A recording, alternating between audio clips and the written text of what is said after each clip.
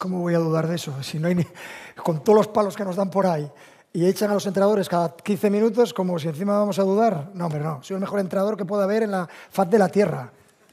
Sin ninguna duda. Ya estoy tranquilo que ya vendrán luego las críticas.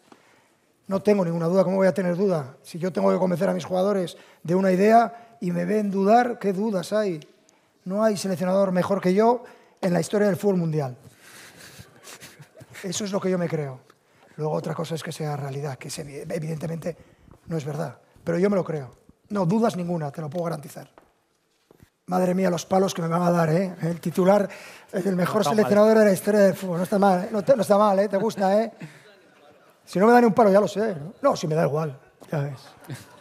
No hay ninguna duda de lo que vais a ver en España. Intentar controlar el partido, dominar al rival, generar más que el rival en ataque y en defensa.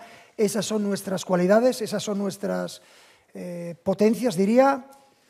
Esa es la, visión de lo que vamos a ver en el, Mundial de Qatar. A Ansu lo conozco muy bien porque creo que nosotros apostamos por él incluso antes que, que, que otros. Y en ese sentido, el nivel de Ansu Fati futbolístico es incuestionable.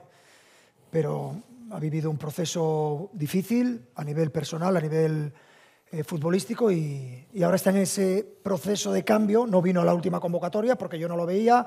En esta, hasta el último segundo, he tenido dudas. Pero, ¿qué ha influido? Pues la ilusión que tenemos y tengo en, que, en volver a recuperar la mejor versión de, de Ansu. ¿Está cerca?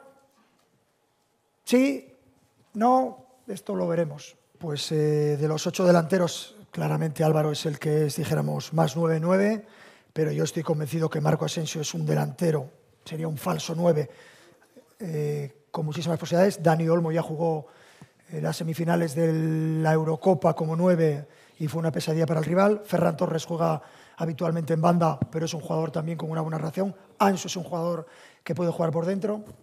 No me preocupa en absoluto. Piqué estaba en la prelista porque para mí cuando doy la prelista es un jugador eh, en activo, profesional y para mí uno de los mejores centrales. Eh, de hecho, recuerdo acabar la temporada pasada en el Barça, eh, jugando lesionado, sacrificándose por su club y rindiendo a un altísimo nivel. Es una máquina competitiva, o lo era,